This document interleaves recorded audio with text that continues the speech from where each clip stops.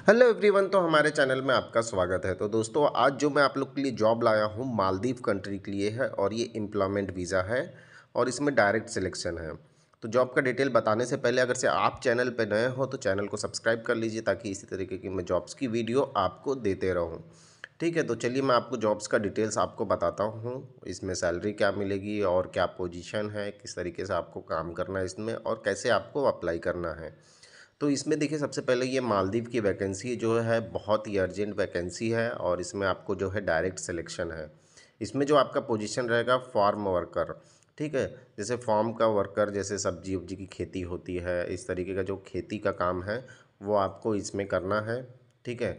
ये सब काम रहेगा आपका इसमें और इसमें आपको सैलरी अगर से देखी जाए तो साढ़े तीन सौ यू डॉलर सैलरी है, ठीक है? साढ़े तीन सौ यू डॉलर सैलरी है प्लस कंपनी आपको तीन टाइम खाना देगी ठीक है, इसमें खाना आपको मिलेगा। इसमें कैसा रहेगा प्लांट को जो है लगाना है, उसको पानी देना है, उसका देखभाल करना है कटिंग करना है, ये सब कुछ जो है इसमें आपको करना है। और इसमें जो एज लिमिट रहेगी, इक्कीस साल से चालीस साल के तक जो है एज लिमिट वाले इसमें अप्लाई कर सकते हैं।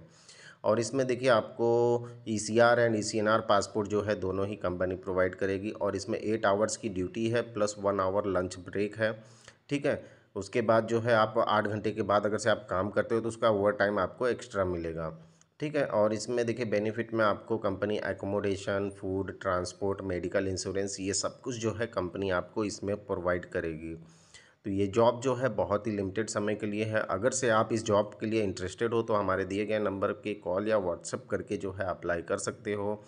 ठीक है? और अगर से आपने, आपको ये जॉब पसंद है तो अप्लाई कर सकते हो। अगर से आपने अभी तक चैनल सब्सक्राइब नहीं किया है तो सब्सक्राइब कर लीजिए ताकि आने वाले दिनों में ऐसी ही मेरी जॉब्स की वीडियो मिलती रहे। तो मिलेंगे अगले वीडियो में इसी तरह, तब तक के लिए धन्यवाद।